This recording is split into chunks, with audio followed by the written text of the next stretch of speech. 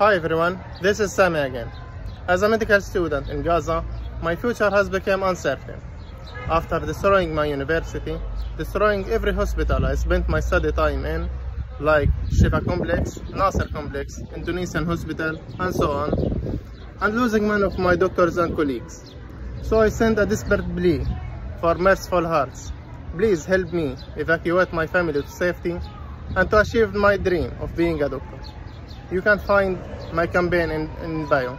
Thank you.